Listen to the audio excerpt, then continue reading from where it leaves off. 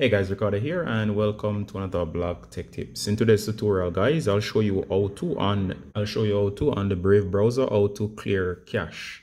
Alright, so if you want to learn how to clear the cache on your Brave browser, simply follow this guide. Alright, the first thing you want to do guys is go ahead and launch Brave browser. Brave or Brave browser, once you're in Brave browser as um, seen here, um, the page doesn't really matter um, as long as you're um, able to see the menu down here which is at the bottom of the screen. Go ahead and hit the three lines lower right. And once you hit the three lines guys you'll be in the options menu here. Go to settings.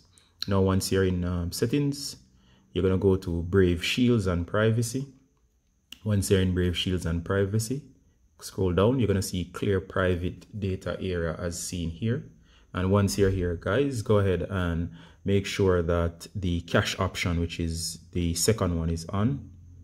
Um, make sure it's on if it's off. And you can um, uncheck on um, anything else you do not want to use here including browsing history. So if you want to leave your browsing history go ahead and turn that off. This option is yours. If you want to leave your cookies and site data go ahead and turn that off. Your save logs your download files your brave news and um, so on and your recent search data, go ahead and turn those off. But make sure that the second option, which is the cache, is on. Or you can simply leave it at default. Go ahead and hit clear um, data now and hit yes, delete. And notice it says clearing data. And of course, it's finished. And once it's finished, guys, it simply means that it has just cleared your cache along with anything else that's selected.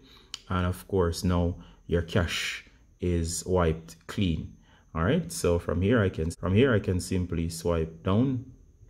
And of course i'm back to the page. Um, for good measure go ahead and close the um, browser out.